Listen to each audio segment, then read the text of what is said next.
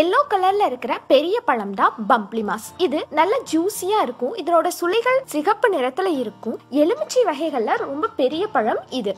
இதனோட எடை ரெண்டுல இருந்து மூணு கிலோ வரையில இருக்கும். இதனோட தாயகம் வந்து தென்கிழக்கு ஆசிய பகுதி மற்றும் அதனை ஒட்டிய மலேசியா. இது வந்து காட்டு மரமா பிஜு ஆற்றங்கரை ஓரத்துலயும் ஃப்ரெண்ட்லி தீவுகள்லயும் காணப்படுது. சீனாவில் ஃபர்ஸ்ட் ஃபர்ஸ்ட் எப்போ வந்து இது நட்டாங்க அப்படின்னா சுமார் ரெண்டாயிரத்தி நூறு ஆண்டுகளுக்கு முன்னாடியே தைவான் ஜப்பான் இதனோட தென்பகுதிகளில் தென்னிந்தியா மலேசியா இந்தோனேஷியா போன்ற இடங்களிலும் இது வந்து நன்கு வளரக்கூடிய தன்மை கொண்டது. இதனோட பூவை யூஸ் பண்ணி நறுமண தைலம் தயாரிக்கிறாங்க. இதனோட தோல்ல இருந்து எடுக்கப்படுற ஒரு மருந்து நம்ம தூக்க மருந்தா பயன்படுத்துறோம். காக்கா வலிப்பு இரும்பல் இழைப்பு போன்றவற்றுக்கும் இது மருந்தா பயன்படுது.